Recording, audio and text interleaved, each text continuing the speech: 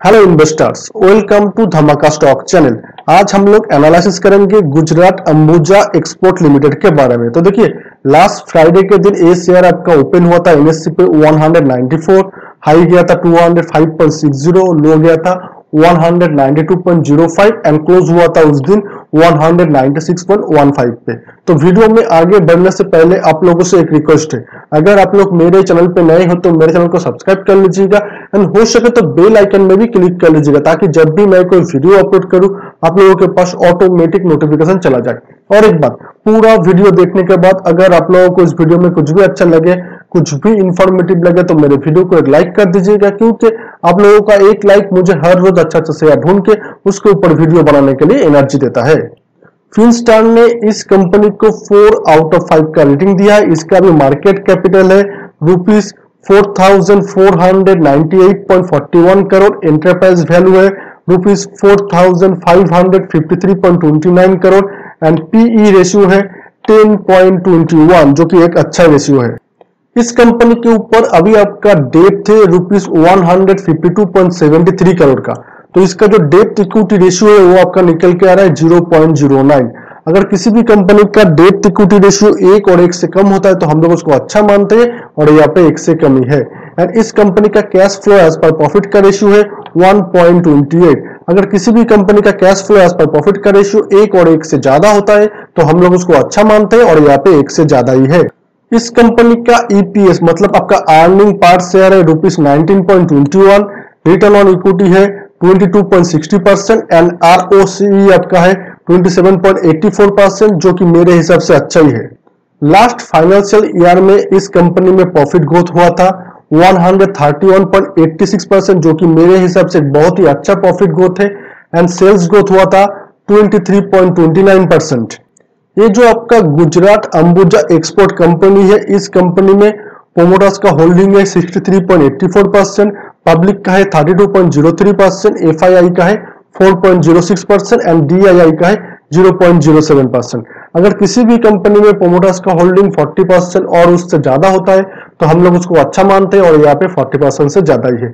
और एक चीज़ देखिए, ये जो आपका 63.84 परसेंट पोमोटास का होल्डिंग है इसमें आपका कुछ भी शेयर प्लेज नहीं है। तो ये भी फंडामेंटली एक अच्छा बात है। ओके तो देखिए, एक साल में ओके वन ईयर में इस शेयर ने आपका रिटर्न दिया है thirty three point forty seven percent तीन साल में देखिए कितना दिया। तीन साल में आपका दिया है 74.34 परसेंट और 10 साल में कितना दिया है, वो भी एक बार देख लेंगे। देखिए 10 साल में इस शेयर ने आपका रिटर्न दिया 1697.24 परसेंट मतलब लगभग 1700 परसेंट आपका 10 साल के 10 साल में इस शेयर ने रिटर्न दे चुका है, जो कि एक बहुत ही अच्छा रिटर्न होता है। तो अभी हम लोग क्या करेंगे? सीधे चले जाएँगे इस शेयर के एक बार चार्ट पे।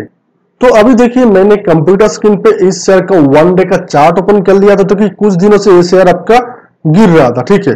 यहाँ पे गिर रहा था कुछ दिनों से। गिरते गिरते कहा तक गिरा? ये शेयर लगभग इसका जो 100 days and 200 days moving average का लाइन है, यहाँ पे आके रुक गया। और यहाँ पे सपोर्ट लेते हुए ये आपका था तेईस फरवरी का दिन यहाँ पे एक ज़बरदस्त पॉजिटिव कैंडल फॉर्म किया एंड इस जगह पे सुपर टेन ने आपका बाई सिग्नल भी दिया, तब से देखिए शेयर लगातार आपको ऊपर की तरफ़ भाग रहा है। एंड डेली चार्ट के हिसाब से अभी ये share 50 days 100 days and 200 days तीनों मूविंग एवरेज से ऊपर ही ट्रेड करते हुआ दिख रहा है, जो कि एक अच्छा बात है। और एक चीज़ देखिए आरएसआई आरएसआई भी आपका लगभग 60 का जो लेवल है, उसके नज़दीक है तो ये भी एक अच्छा बात है।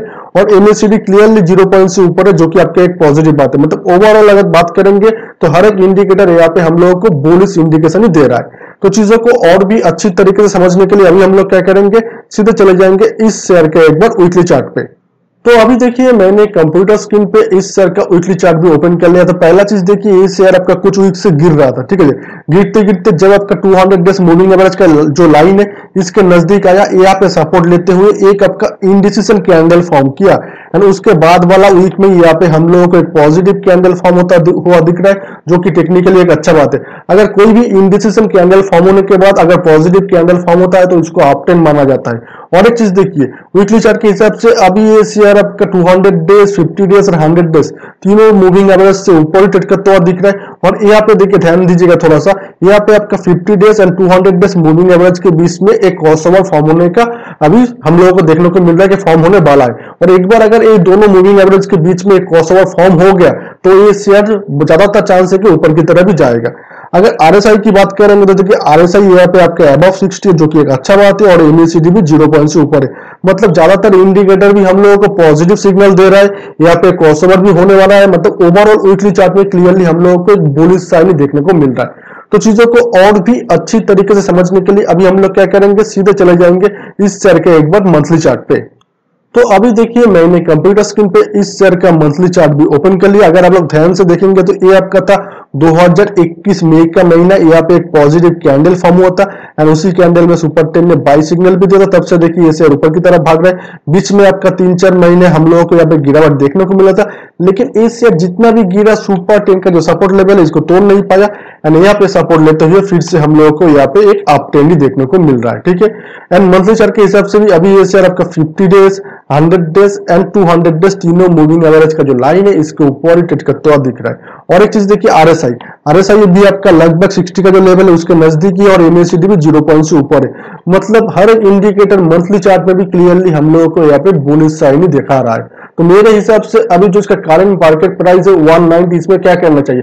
उससे पहले आप लोगों को एक चीज़ बताना चाहूँगा, इस शेयर को मैंने लगभग एक महीना और तीस चालीस दिन पहले एनालिसिस किया था। उस टाइम पे इस शेयर का प्राइस चला था, अस्सी रुपए, और मैंने बोला था कि तीस से चालीस दिन के अंदर ये शेयर आपका मतलब अस्सी मतलब एक सौ अस्सी रुपए चल रहा था और मैंने बोला था कि तीस से चालीस दिन के अंदर ये शेयर आपका टू हंड्रेड का जो टारगेट है वो अचीव कर सकता है। तो देखिए, आपका तीस से चालीस दिन के अंदर इस शेयर ने ऑलरेडी टू हंड्रेड का जो टारगेट था वो अचीव कर चुका है। तो अभी इसका जो प्राइस चल रहा है वन हंड्रेड नाइनटी सिक्स अभी इसमें हम लोगों को क्या करना चाहिए? तो मेरे हिसाब से अभी जो वन हंड्रेड नाइनटी सिक्स जो प्राइस चल रहा है, इस प्राइस में भी आप लोग इस शेयर को खरीदते हैं तो ज़्यादा से ज़्यादा चार महीने के अंदर मुझे जो लगता है कि ये शेयर आपका 250 का जो टारगेट है, वो भी अचीव कर सकता है। लेकिन कुछ भी एक्शन लेने से पहले आपका जो फाइनेंशियल एडवाइजर है, उससे एक बार ज़रूर कॉन्सल्ट कर लीजिएगा, क्योंकि मैं कोई सेबी रजिस्टर्ड पर्सन नहीं हूँ और मैं यहाँ पे किसी भी तरीके का कुछ भी टिप्स नहीं देता हूँ। तो मैं क्या करता हूँ मेरा जितना टेक्निकल एंड फंडामेंटल का नॉलेज है, उसके ऊपर बेस करके वीडियो बना के आप लोगों को सही इन्फॉर्मेशन देने की कोशिश करता हूँ कि कौन सा शेयर टेक्निकली कैसा है, कौन सा शेयर फंडामेंटली कैसा है। तो आज के लिए इतना ही पूरा वीडियो देखने के लिए आप सभी को दिल से बहुत बहुत धन्यवाद।